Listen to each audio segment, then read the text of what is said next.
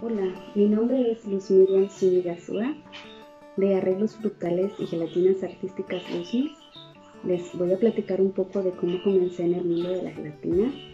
Fue hace aproximadamente seis años cuando comencé haciendo gelatinas para mi familia, cuando teníamos algún convivio, alguna fiesta familiar. Yo siempre llegaba y les regalaba una, una gelatina. Ellos me empezaron a recomendar con sus amigos. Eh, yo empecé a a preparar y a ofrecerle a mis vecinos y así me fueron recomendando. Hasta que un día mi sobrino me creó una página en Facebook.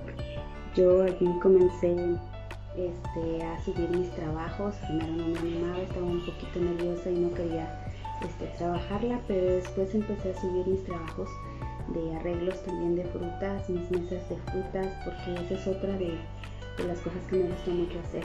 El arte con la fruta otra de mis pasiones, aparte de la gelatina. Y así comencé a indagar en Facebook hasta que me encontré a El Baúl de Javi.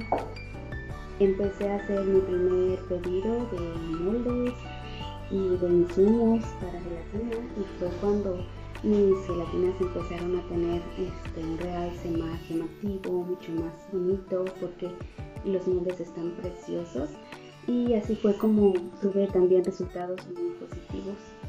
Yo por eso estoy muy contenta porque gracias a, a Salles y a Jave, ahora ellos me, han elegido para ser una de sus creativas en el grupo de, de este proyecto nuevo que están, que están lanzando ahorita.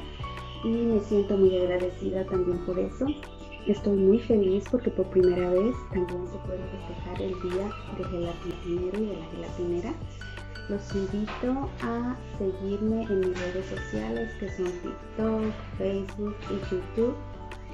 No se les olvide este, poner hashtag Sayes el baúl de Jave, Día del Gelatinero y de la Gelatinera. Muchas felicidades a todos y muchísimas gracias.